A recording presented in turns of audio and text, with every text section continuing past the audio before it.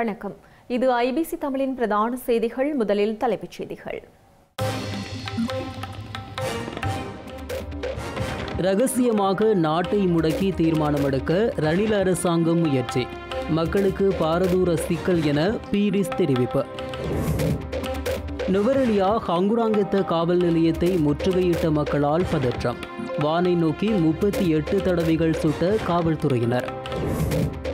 ஸ்ரீலங்கா அரசின் ஆறுதல் நலன்புரி திட்டத்துக்கு எதிராக ஒரு லட்சத்து இருபதாயிரம் மேன்முறையீடுகள். தமிழர் தாயக மக்கள் அதிக அளவில் முறைப்பாடு. தமிழகத்தில் நூறு புதிய முதலீட்டுக்கான புரிந்துணர்வு ஒப்பந்தங்கள் கைச்சாத்து. ஏழாயிரத்து நானூறு வேலைவாய்ப்புகள் உருவாகும் சாத்தியம். வோக்னர் கிளர்ச்சியின் பின்னால் மேற்குலக நாடுகள் என்ற குற்றச்சாட்டை நிராகரிக்கும் பைடன். உள்நாட்டு பிரச்சினை என தெரிவிப்பு. இனி விரிவான செய்திகள். உள்நாட்டு கடன் மறுசீரமைப்பு மக்களின் வங்கி வைப்பு தொகையை பாதிக்காது என ஸ்ரீலங்கா ஜனாதிபதி ரணில் விக்ரமசிங்க தெரிவித்துள்ளார். உள்நாட்டு கடன் மறுசீரமைப்பு தொடர்பில் ஆலோசிப்பதற்காக ஜனாதிபதி செயலகத்தில் இடம்பெற்ற அமைச்சரவை கூட்டத்தில் ஆலோசிக்கப்பட்டிருந்தது. இதன்போது கடன் மறுசீரமைப்பு வேலைத்திட்டம் தொடர்பில் யாரும் அச்சப்பட வேண்டாம் எனவும் இது தொடர்பில் நாடாளுமன்ற விவாதத்திற்கு தேவையானால் இரண்டு நாட்களை கூட வழங்க முடியும் எனவும் கூறினார். எனினும் இலங்கையின் உள்நாட்டு கடன் மறுசீரமைப்பு செய்வதற்கான அநீதியான செயற்பாடுகளுக்கு நாட்டை ரகசியமாக முடக்கிவிட்டு அவசர தீர்மானம் ஒன்றை எடுக்க அரசாங்கம் திட்டமிடப்பட்டுள்ளதாக சுதந்திர மக்கள் காங்கிரசின் முக்கியஸ்தரும் நாடாளுமன்ற உறுப்பினருமான ஜி எல் பீரிஸ் குற்றம் சாட்டியுள்ளார். அதனால் நாட்டு மக்களே பாரதூரமான சிக்கலை சந்திக்க நேரிடும் எனவும் கொழும்பில் நேற்றைய தினம் இடம்பெற்ற ஊடகவியலாளர் சந்திப்பில் அவர் சுட்டிக்காட்டியுள்ளார். අපි දැන් දකින්නේ ඉතිහාසය தேசிய கடன் மறுசீரமைப்புக்கு பல்வேறு வழிமுறைகள் இருக்கின்றன எந்த முறையில் மறுசீரமைப்பு பணிகளை செய்தாலும் மக்களுக்கு ஏற்படும் இழப்புகள் ஒருபோதும் குறையாது அதனை நிச்சயமாக எதிர்கொண்டே ஆக வேண்டும் முதலில் ஊழியர் சேமலாப நிதியம் மற்றும் ஊழியர் நம்பிக்கை பொறுப்பு நிதியம் ஆகியனவே முதலில் தாக்கத்தை சந்திக்கும் அவற்றின் நிதிவளம் திரைசேரியின் கணக்கு பட்டியல் மற்றும் பிணைமுறைகளே முதலீடுகளாக அமைந்துள்ளன நூற்றுக்கு எண்பத்தி ஐந்து சதவீதம் திரைசேரியின் முதலீடாகும் இதனூடாக நிச்சயமாக தேசிய வங்கி கட்டமைப்பின் நிலைப்பெறுத்தன்மைக்கு பாதிப்பு ஏற்படும். ஆனால் இதனால் எந்த சிக்கலும் ஏற்படாது. கடன் மறுசீரமைப்பு செயற்பாடுகளில் எந்த குறைபாடும் இல்லை என்று மத்திய வங்கியின் ஆளுநர் கூறுகின்றார். தேசிய கடன் ஒருபோதும் மறுசீரமைப்பு செய்யப்படாது என்று அவரே இந்த நாட்டுக்கு அறிவித்திருந்தார். அவ்வாறு இருக்கையில் இதில் இருக்கும் நம்பகத்தன்மை என்ன? ஆகவே இது பொய் என்றால் பின்விளைவுகள் தொடர்பில் ஒரு நம்பகமான நிலைப்பாட்டை உருவாக்கிக் கொள்ள முடியும். எழுபத்தி ஒன்பது லட்சம் மக்கள் உணவு தேவைக்காக வீடுகளில் இருக்கும் தளபாடங்களை விற்பனை செய்வதாக பத்திரிகைகளில் செய்திகள் வெளியாகின்றன. நாட்டில் என்றாவதொரு நாள் இந்நிலை ஏற்பட்டது இல்லை. இந்த பின்னணியிலேயே தேசிய கடன் மறுசீரமைப்பு செய்யும் அநீதியான செயற்பாடுகளுக்காக நாட்டை ரகசியமாக முடக்கிவிட்டு அவசர தீர்மானம் ஒன்றை எடுக்க அரசாங்கம் திட்டமிட்டுள்ளது. அதன் பின்னர் எம்மால் முன்னோக்கி செல்ல முடியாது. இதனையே மக்களை ஏமாற்றிவிட்டு மிகவும் புத்திசாலித்தனமாக சாதித்துக்கொள்ள அரசாங்கம் செயற்பட்டு வருகிறது. சகல கடன் உரிமையாளர்கள் தொடர்பிலும் ஒரே மாதிரியான கொள்கையை பின்பற்றுவதாக அரசாங்கம் அறிவித்துள்ளது. அவ்வாறெனில் தேசிய கடன் தொடர்பில் விசேட தன்மை குறித்து கவனம் செலுத்துவதில்லை என்பதே இதன் பொருளாகும். வெளிநாட்டு கடன் உரிமையாளர்கள் தொடர்பில் முன்னெடுக்கப்படும் வேலை திட்டத்தை போன்றதொரு செயற்பாடுகள் இல்லாமல் தேசிய கடன் உரிமையாளர்கள் தொடர்பில் சற்று மாறுபட்ட வேலை திட்டங்கள் முன்னெடுக்கப்பட வேண்டும். இந்த நிலை வெளிநாடுகளுக்கு ஏற்பட்ட போது அவர்கள் மிகவும் சாணக்கியத்தனமாக நடந்து கொண்டனர். இருபது நாடுகள் சர்வதேச நாணய நிதியத்தின் உதவியை நாடியிருந்தன. ஆனால் அந்த நாடுகள் தேசிய கடன் மறுசீரமைப்புக்கு ஒத்துக்கொள்ளவில்லை. அவர்களில் ஆறு நாடுகள் வங்குரோத்து நிலையில் இருந்தாலும் அவர்களும் தேசிய கடன் மறுசீரமைப்புக்கு ஒத்துக்கொள்ளவில்லை. நாணய நிதியத்தின் உதவியை நாடுவதற்கு முன்னர் எமது நாட்டின் நிலைப்பாடே அவசியமாகும். எதற்கு இணங்க வேண்டும் எதற்கு இணங்கக்கூடாது என்பதே அவசியமாக உள்ளது. கட்சித் தலைவர்களின் பங்கேற்புடன் இன்று நடைபெறவிருந்த நாடாளுமன்ற நடவடிக்கைகள் தொடர்பான குழு கூட்டம் எதிர்வரும் வெள்ளிக்கிழமை வரை ஒத்திவைக்கப்பட்டுள்ளது. இதன்படி சபாநாயகர் தலைமையில் வெள்ளிக்கிழமை காலை ஒன்பது முப்பதுக்கு இந்த கூட்டம் நடைபெறவுள்ளதாக நாடாளுமன்றத்தின் சிரேஷ்ட பேச்சாளர் ஒருவர் தெரிவித்துள்ளார். இலங்கையின் உள்நாட்டு கடன் மறுசீரமைப்பு தொடர்பிலான பிரேரணைகளுக்கு நாடாளுமன்ற அனுமதியை பெறும் நோக்கில் எதிர்வரும் சனி மற்றும் ஞாயிற்றுக்கிழமைகளில் நாடாளுமன்ற சபை கூடவுள்ளது. இந்த நடவடிக்கைகளை முன்னெடுப்பது தொடர்பிலான இறுதி தீர்மானங்களை எதிர்வரும் வெள்ளிக்கிழமை நடைபெறவுள்ள நாடாளுமன்ற நடவடிக்கைகள் தொடர்பிலான குழு கூட்டத்தில் மேற்கொள்ளவுள்ளதாக நாடாளுமன்றத்தின் சிரேஷ்ட பேச்சாளர் ஒருவர் தெரிவித்துள்ளார். இதனிடையே ஆளும் கட்சி நாடாளுமன்ற உறுப்பினர்களின் குழு கூட்டம் நாளை நடைபெறவுள்ளது. இந்த கூட்டம் ஸ்ரீலங்கா ஜனாதிபதி ரணில் விக்ரமசிங்க தலைமையில் ஜனாதிபதி செயலகத்தில் இடம்பெறவுள்ளது. உள்நாட்டு கடன் மறுசீரமைப்பு தொடர்பில் ஆளும் கட்சி நாடாளுமன்ற உறுப்பினர்களுக்கு தெளிவுபடுத்துவதற்காக இந்த கூட்டம் நடைபெறவுள்ளமை குறிப்பிடத்தக்கது. நுவரெலியா ஹங்குரன்கேத்த காவல் நிலையத்தை மக்கள் சுற்றி வளைத்து போராட்டம் மேற்கொண்ட நிலையில் அதனை தடுக்க காவல்துறையினர் முப்பத்தி எட்டு தடவைகள் துப்பாக்கியால் சுட்டுள்ளனர். இந்த சம்பவம் நேற்றிரவு இடம்பெற்றுள்ள நிலையில் தற்போது நிலைமை கட்டுப்பாட்டிற்குள் கொண்டுவரப்பட்டுள்ளதாக ஹங்குரன்கேத்த காவல்துறையினர் தெரிவித்துள்ளனர். போலீஸ் நிலையத்தை இருநூறுக்கும் அதிகமான மக்கள் சுற்றி வளைத்ததை அடுத்து போலீசார் எச்சரிக்கைக்காக துப்பாக்கியால் வானத்தை நோக்கி சுட்டுள்ளனர். நுவர்லியா ஹங்குரங்கெத்த தியதிலகபுர பகுதியைச் சேர்ந்த ஒருவர் ஞாயிற்றுக்கிழமை இடம்பெற்ற தாக்குதலில் காயமடைந்து கண்டி வைத்தியசாலையில் சிகிச்சை பெற்று வந்த நிலையில் உயிரிழந்துள்ளார். இந்த சம்பவம் தொடர்பில் ஹங்குராங்கெத்த காவல்துறையினர் விசாரணைகளை மேற்கொண்டு சந்தேகத்தின் பேரில் ஒருவரை கைது செய்துள்ளனர். எனினும் மோதல் சம்பவம் கொலை என்றும் சந்தேக நபர்களை கைது செய்வதில் தாமதம் ஏற்பட்டுள்ளதாகவும் தெரிவித்தே பதற்றமான சூழ்நிலை உருவாகியிருந்தது. குறிப்பிட்ட நபரின் மரணம் தொடர்பில் மேற்கொள்ளப்பட்டு வரும் விசாரணைகள் தொடர்பில் தெரியப்படுத்தப்பட்ட போதிலும் குழு ஒன்று கங்குரங்கெத்த காவல் நிலையத்திற்குள் நுழைய முயற்சித்துள்ளது. காவல் நிலையத்திற்குள் நுழைந்தால் ஏற்படக்கூடிய பாதிப்புகளையும் பணியிலிருந்த அதிகாரிகளின் பாதுகாப்பையும் கருத்தில் கொண்டு நிலைமையை கட்டுப்படுத்த இரண்டு காவல்துறை அதிகாரிகள் முப்பத்தி எட்டு முறை வானத்தை நோக்கி துப்பாக்கியால் சுட்டுள்ளனர்.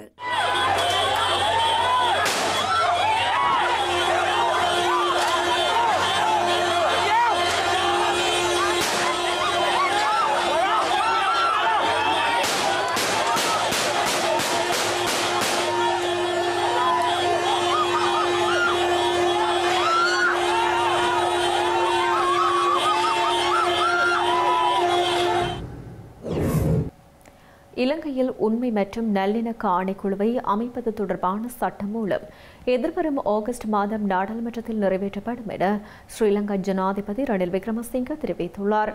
வெளிநாட்டு ஊடகம் ஒன்றுக்கு வழங்கிய விசேட நேர்காணலிலேயே அவர் இதனை கூறியுள்ளார். தென்னாப்பிரிக்க பாணியிலான உண்மை மற்றும் நல்லிணக்க ஆணைக்குழுவை இலங்கையில் அமைப்பதற்கு அனைத்து தரப்பினரும் இணக்கம் தெரிவித்துள்ளதாக ஸ்ரீலங்கா ஜனாதிபதி ரணில் விக்ரமசிங்க தெரிவித்துள்ளார். இந்த ஆணைக்குழு சில வருடங்களுக்கு முன்னர் அமைக்கப்பட்டதாகவும் தாம் ஜனாதிபதியாக பதவியேற்றதும். இது தொடர்பிலான பேச்சுவார்த்தைகளை தென்னாப்பிரிக்காவுடன் மேற்கொண்டுள்ளதாகவும் அவர் கூறியுள்ளார். இந்த நிலையில் குறித்த ஆணைக்குழு தொடர்பிலான சட்டமூலத்தை எதிர்வரும் ஆகஸ்ட் மாதம் நாடாளுமன்றத்தில் நிறைவேற்றுவதாக அவர் குறிப்பிட்டுள்ளார். ஜெனீவா மனித உரிமைகள் பேரவை விதித்துள்ள நிபந்தனைகளில் இதுவும் ஒன்றென அவர் சுட்டிக்காட்டியுள்ளார். இதேவேளை தமிழ் அரசியல் தலைவர்கள் அரசியல் தீர்வு குறித்தும் அதிகார பரவலாக்கம் குறித்தும் கோரிக்கைகளை முன்வைத்து ஸ்ரீலங்கா அரசாங்கத்துடன் பேச்சுவார்த்தைகளை முன்னெடுப்பதாகவும் குறித்த கோரிக்கைகளை சாதகமான முறையில் அணுகுவதற்கு எதிர்பார்த்துள்ளதாகவும் ரணில் விக்ரமசிங்க கூறியுள்ளார். இலங்கையின் கடன் மறுசீரமைப்பு திட்டம் நாளைய தினம் அமைச்சரவையில் சமர்ப்பிக்கப்பட்டு வார இறுதியில் இது குறித்து நாடாளுமன்ற விவாதங்கள் இடம்பெறும் எனவும் ரணில் விக்ரமசிங்க மேலும் தெரிவித்துள்ளார். அத்துடன் எதிர்வரும் வெள்ளிக்கிழமை நாடாளுமன்ற நிதிக்குழுவிடம் குறித்த திட்டத்தை சமர்ப்பிக்க உள்ளதாகவும் அவர் குறிப்பிட்டுள்ளார். இவற்றைத் தொடர்ந்து இலங்கைக்கு கடன் வழங்கிய ஏனைய நாடுகளுடன் பேச்சுவார்த்தைகளை ஆரம்பிக்க எதிர்பார்த்துள்ளதாகவும் அவர் மேலும் குறிப்பிட்டுள்ளார். ஸ்ரீலங்கா குற்றப்புலனாய்வு பிரிவினரால் கைது செய்யப்பட்ட சமூக ஆர்வலர்களில் ஒருவரான பியத் நிகேஷல பிணையில் விடுதலை செய்யப்பட்டுள்ளார். அத்துடன் அவர் வெளிநாடு செல்வதற்கும் நீதிமன்றம் தடை விதித்துள்ளது. ஸ்ரீலங்கா அரசாங்கத்திற்கு எதிராக கடந்த வருடம் ஜூலை மாதம் ஒன்பதாம் தேதி இடம்பெற்ற ஆர்ப்பாட்டத்தின் போது ஜனாதிபதி ரணில் விக்ரமசிங்கவின் கொழும்பு ஐந்தில் அமைந்துள்ள உத்தியோகபூர்வ இல்லத்திற்கு தீ வைத்து சேதப்படுத்திய சம்பவம் தொடர்பில் காவல்துறை குற்ற புலனாய்வு பிரிவினர் விசாரணைகளை ஆரம்பித்துள்ளனர். இது தொடர்பில் வாக்குமூலம் பதிவு செய்வதற்காக சமூக ஆர்வலர்களில் ஒருவரான பியத் நிகேஷல நேற்று காவல்துறை குற்ற புலனாய்வு பிரிவிற்கு அழைக்கப்பட்டிருந்த நிலையில் கைது செய்யப்பட்டார். கைது செய்யப்பட்டவர் இன்று கொழும்பு கோட்டை நீதவான் நீதிமன்றில் முன்னிலைப்படுத்தப்பட்ட நிலையில் பிணையில் விடுதலை செய்யப்பட்டுள்ளார். ஸ்ரீலங்கா அரசாங்கத்தால் புதிதாக அறிமுகப்படுத்தப்பட்ட அஸ்விசும என்னும் ஆறுதல் நலன்புரி திட்டத்துக்கு எதிராக இதுவரை ஒரு லட்சத்து இருபதாயிரம் மேன்முறையீடுகள் முன்வைக்கப்பட்டுள்ளதாக நலன்புரி நன்மைகள் சபை தெரிவித்துள்ளது. கொழும்பில் இடம்பெற்ற ஊடகவியலாளர் சந்திப்பில் சபையின் உறுப்பினரான கமல் பத்மஸ்ரீ இந்த விடயத்தை குறிப்பிட்டுள்ளார். ஸ்ரீலங்கா அரசாங்கத்தால் அஸ்விஸ்ம எனும் புதிய ஆறுதல் நலன்புரி திட்டம் கடந்த இருபத்தி ஓராம் தேதி அறிமுகப்படுத்தப்பட்டிருந்தது. இதனைத் தொடர்ந்து குறித்த திட்டத்தை அரசியல்வாதிகள் உள்ளிட்ட பலர் விமர்சித்திருந்தனர். இந்த பின்னணியில் திட்டம் அறிமுகப்படுத்தப்பட்டு ஆறு நாட்களுக்குள் ஒரு லட்சத்திற்கும் மேற்பட்ட மேன்முறையீடுகள் கிடைக்கப்பெற்றுள்ளதாக நலன்புரி நன்மைகள் சபை சுட்டிக்காட்டியுள்ளது. இந்த நிலையில் மேன்முறையீடுகள் மாத்திரமன்றி குறித்த திட்டம் தொடர்பான ஆட்சேபனைகளையும் மக்கள் முன்வைக்கலாம் என சபையின் உறுப்பினரான கமல் பத்மஸ்ரீ கூறியுள்ளார். அத்துடன் குறித்த ஆட்சேபனைகளை பெயர் குறிப்பிடாமல் சமர்ப்பிக்கலாம் எனவும் அவர் தெரிவித்துள்ளார். வடமாகாணத்தில் அஸ்வேஷ்மே என்னும் ஆறுதல் நலன்துறை திட்டத்தினூடாக பாதிக்கப்பட்ட மக்கள் தொடர்பான விவரங்கள் சேகரிக்கப்பட்டு வரும் நிலையில் அது தொடர்பில் ஆராய்ந்து வருவதாக வடமாகாண ஆளுநர் பி. எஸ். எம். சால்ஸ் தெரிவித்துள்ளார். யாழ்ப்பாணத்தில் குருதி கொடையாளர்கள் கௌரவிப்பின் நிகழ்வில் கலந்து கொண்டு சிறப்புரையாற்றும் போதே அவர் இதனை தெரிவித்துள்ளார். வடமாகாணத்தில் போசாக்கு சம்பந்தமான தகவல்கள் திரட்டப்பட்டுள்ளது. அது சம்பந்தமாக கடந்த வாரத்திலும் நான் இது சம்பந்தமான சகல துறைகளோடும் நான் ஒரு கூட்டத்தை நடத்தி இருந்தேன் இந்த பிரச்சனைக்கு எவ்விதமான திட்டங்களின் மூலம் அவற்றை தீர்ப்பது தீர்ப்பதென்பது நாங்கள் ஆலோசித்திருக்கின்றோம். முதல் கட்டமாக நானூறு குடும்பங்களை வடமாகாணத்திலே அடையாளம் கண்டிருக்கிறோம். அவற்றிற்கு எவ்விதமாக உதவி அளிப்பது என்ப திட்டம் தயாரிக்கப்பட்டு கொண்டுள்ளதால் மிக விரைவில் அவை சம்பந்தமாக நாங்கள் நடவடிக்கை எடுப்போம். நீங்கள் இப்போது சமுத்தி பயனாளிகள் நிறுத்துவது சம்பந்தமாக கூறியிருந்தீர்கள். இப்போதான் அது சம்பந்தமான செய்தி எனக்கு கிடைத்திருக்கின்றது.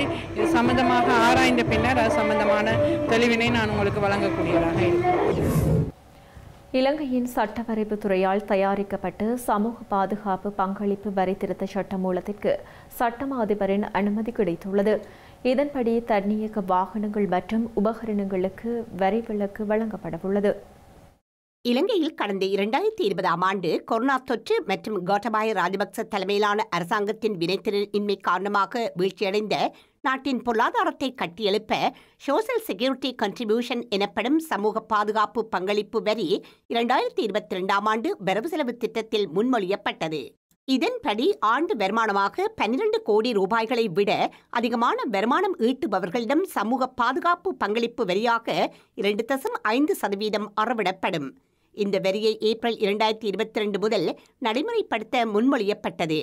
இந்த முன்மொழிவின் மூலம் நூற்று நாற்பது பில்லியன் ரூபாய்களை அரசாங்கத்தால் வருமானமாக பெற முடியும் என அரசாங்கத்தால் எதிர்பார்க்கப்படுகின்றது. இரண்டாயிரத்தி இருபத்தி ரெண்டாம் ஆண்டு இருபத்தி ஐந்தாம் இலக்க சமூக பாதுகாப்பு பங்களிப்பு வரி சட்டத்தில் பல திருத்தங்களை அறிமுகப்படுத்தவும் அதற்கான திருத்த சட்டமூலத்தை தயாரிப்பதற்காக சட்டவரைவுத் துறைக்கு ஆலோசனை வழங்குவதற்காகவும் கடந்த ஜனவரி மாதம் முப்பதாம் தேதி நடைபெற்ற அமைச்சரவைக் கூட்டத்தில் அங்கீகாரம் அளிக்கப்பட்டிருந்தது. இந்த நிலையில் சட்ட விரைவுத்துறையால் தயாரிக்கப்பட்ட சமூக பாதுகாப்பு பங்களிப்பு வரி திருத்த சட்டமூலத்திற்கு சட்டமா அதிபரின் அனுமதியும் கிடைத்துள்ளது. குறித்த சட்டமூலத்தை அரசாங்க வர்த்தமானியில் பிரசுரிப்பதற்கும் பின்னர் அதனை நாடாளுமன்ற அங்கீகாரத்திற்காக சமர்ப்பிப்பதற்கும் நிதியமைச்சர் என்ற வகையில் ஜனாதிபதியினால் முன்வைக்கப்பட்ட யோசனைக்கு அமைச்சரவை அங்கீகாரம் வழங்கியுள்ளது. யாழ்ப்பாணத்தில் குருதி கொடையாளிகளையும் குருதி கொடை முகாமை ஒழுங்குபடுத்துபவர்களையும் கௌரவிக்கும் விசேட நிகழ்வு இடம்பெற்றுள்ளது. கடந்த காலங்களில் பல உயிர்கள் காப்பாற்றப்பட்டமைக்கு குருதி கொடியே காரணம் என யாழ்போதனா வைத்தியசாலையின் பணிப்பாளர் டி. சத்யமூர்த்தி தெரிவித்துள்ளார். உலக குருதி கொடையாளர் தினம் ஜூன் பதினான்காம் தேதி உலகளாவிய ரீதியில் அனைவராலும் கடைபிடிக்கப்பட்டு வருகிறது. அந்த வகையில் நூறு குருதி கொடையாளர்களும் ஐம்பது குருதி கொடை முகாமை ஒழுங்குபடுத்துபவர்களுக்கும் இன்றைய தினம் கௌரவம் அளிக்கப்பட்டுள்ளது. யாழ்ப்பாணம் போதனா வைத்தியசாலையின் பிராந்திய இரத்த வங்கி ஏற்பாட்டில் இடம்பெற்ற குறித்த நிகழ்வில் யாழ்ப்பாணம் தாதியல் கல்லூரியில் இன்று செவ்வாய்க்கிழமை காலை ஒன்பது முப்பது மணியளவில் நடைபெற்றது. வடமாகாண ஆளுநர் P S M Charles Yazhpanam மாவட்ட செயலாளர் அ. சிவபாலசுந்தரன் யாழ்ப்பாணம் போதனா வைத்தியசாலை பணிப்பாளர் த. சத்தியமூர்த்தி வைத்தியசாலை அதிகாரிகள் இரத்த வங்கி உத்தியோகஸ்தர்கள் தேசிய குருதிமாற்று பிரயோக சேவையினர் உள்ளிட்ட பலரும் கலந்து கொண்டு குருதி கொடையாளர்களுக்கு கௌரவம் வழங்கினர். இந்த ரத்தத்தை நீங்கள் கொடையின் மூலம் வழங்குகின்றீர்கள். அவ்வாறு வழங்குகின்ற ரத்தத்தை உரிய பரிசோதனைகளின் மூலம் பொருத்தமானவருக்கு வழங்குவதற்கான சகல ஏற்பாடும் இரத்த வங்கியில் செய்யப்பட்டிருக்கின்றது. ஆகவே அதற்காக இங்கே வைத்திய நிபுணர்கள் வைத்தியர்கள் தாதியர்கள் ஏனைய குலாம் என பலர் இருக்கின்றார்கள். இரத்தத்தை யாழ் போதனா வைத்தியசாலை இரத்த வங்கியில் இருந்து பெற்றுக்கொள்கின்றது அது தவிரவும் விசேடமாக ஒழுங்கமைக்கப்பட்ட பிரதேசங்களுக்கு சென்றும் இந்த இரத்தத்தை பெற்று அவற்றை உரிய முறையில் சேமித்து உரிய பரிசோதனைகள் பின்னர் வழங்கப்படுகின்றது.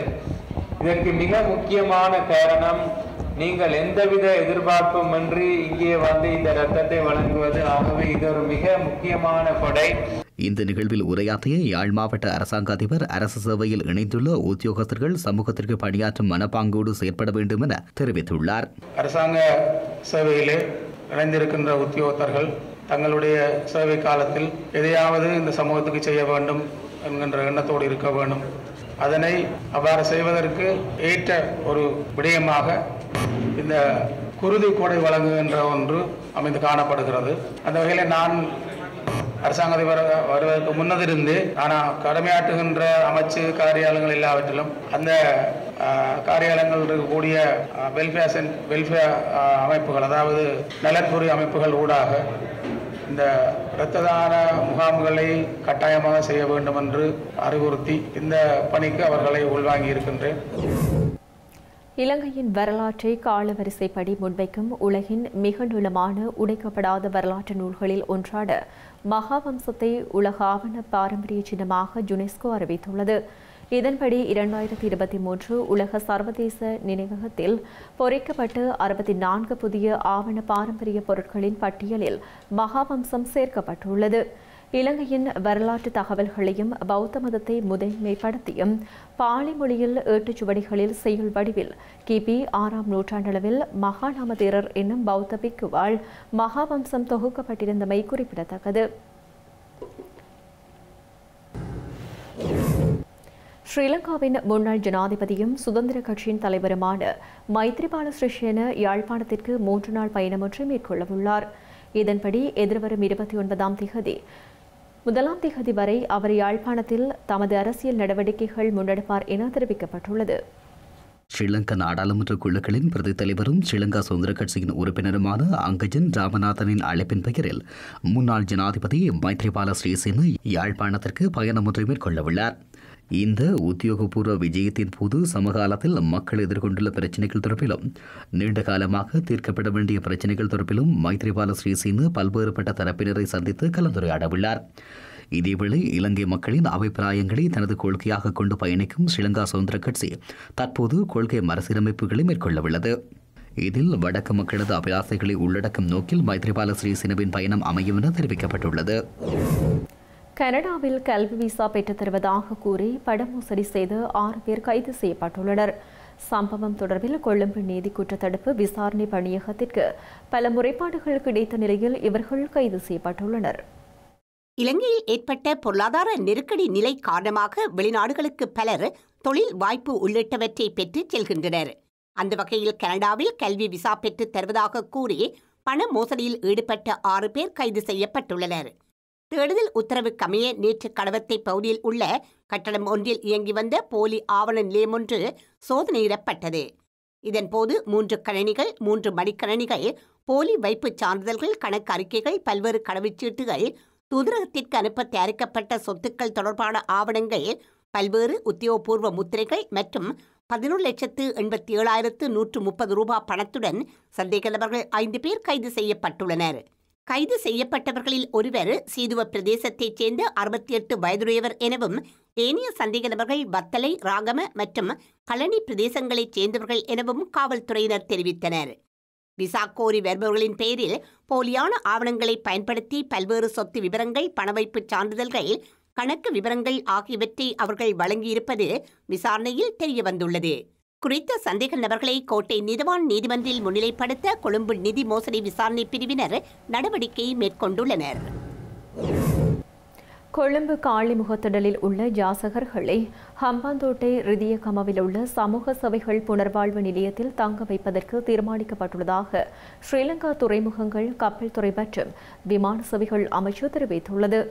காளிமுகத்திடலில் யாசகர்களால் ஏற்படும் அசௌகரியங்களை தடுக்கும் நோக்கில் இந்த தீர்மானம் எடுக்கப்பட்டுள்ளதாக அமைச்சர் நிமல் ஸ்ரீபானடி சில்வா கூறியுள்ளார். கொழும்பு காலிமுகத்திடலில் யாசகம் பெறும் சுமார் நூற்று ஐம்பது பேரால் மக்கள் பல அசௌகரியங்களை எதிர்நோக்க நேரிட்டுள்ளதாக சுட்டிக்காட்டப்பட்டுள்ளது. இந்நிலையில் அங்குள்ள ஜாசகர்களை ஹம்பாந்தோட்டை ரிதியகமவில் உள்ள சமூக சேவைகள் புனர்வாழ்வு நிலையத்திற்கு மாற்றுவதற்கு ஸ்ரீலங்கா துறைமுகங்கள் கப்பல் துறை மற்றும் விமான சேவைகள் அமைச்சு தீர்மானித்துள்ளது. இது தொடர்பான வேலை திட்டத்தை ஸ்ரீலங்கா துறைமுக அதிகார சபை காவல்துறையுடன் இணைந்து முன்னெடுக்க உள்ளதாக மேலும் தெரிவிக்கப்பட்டுள்ளது. இதேவேளை அவர்களுக்கு தேவையான தங்குமிட வசதிகள் உணவு மற்றும் பானங்களை வழங்குவதற்கான நிதி உதவியை ஸ்ரீலங்கா துறைமுகங்கள் அதிகார சபை மற்றும் அதனுடன் இணைந்த நிறுவனங்கள் ஊடாக வழங்குவதற்கு வழங்குவதற்கும் நடவடிக்கை எடுக்குமாறு துறைசார் அமைச்சர் நிமல் ஸ்ரீபாலடி சில்வா பணிப்புரை விடுத்துள்ளமை குறிப்பிடத்தக்கது. செய்திகளின் நிறைவாக மீண்டும் தலைப்புச் செய்திகள். ரகசியமாக நாட்டை முடக்கி தீர்மானம் எடுக்க ரணில் அரசாங்கம் முயற்சி. மக்களுக்கு பாரதூர சிக்கல் என பீரிஸ் தெரிவிப்பு. நுவரெலியா ஹங்குராங்கத்த காவல் நிலையத்தை முற்றுகையிட்ட மக்களால் பதற்றம். வானை நோக்கி முப்பத்தி எட்டு தடவைகள் சுட்ட காவல்துறையினர். ஸ்ரீலங்கா அரசின் ஆறுதல் நலன்புரி திட்டத்துக்கு எதிராக ஒரு லட்சத்து இருபதாயிரம் மேன்முறையீடுகள். தமிழர் தாயக மக்கள் அதிக அளவில் முறைப்பாடு. தமிழகத்தில் நூறு புதிய முதலீட்டுக்கான புரிந்துணர்வு ஒப்பந்தங்கள் கைச்சாத்து. ஏழாயிரத்து நானூறு வேலைவாய்ப்புகள் உருவாகும் சாத்தியம். வோக்னர் கிளர்ச்சியின் பின்னால் மேற்குலக நாடுகள் என்ற குற்றச்சாட்டை நிராகரிக்கும் பைடன். உள்நாட்டு பிரச்சினை என தெரிவிப்பு. இத்துடன் ஐபிசி தமிழ் தொலைக்காட்சியின் பிரதான செய்திகள் நிறைவு பெற்றன. உடனுக்குடன் செய்திகளை அறிந்து கொள்ள ஐபிசி தமிழ் டாட் காம் என்ற எமது இணையதளத்தை பார்வையிடுங்கள். வணக்கம்.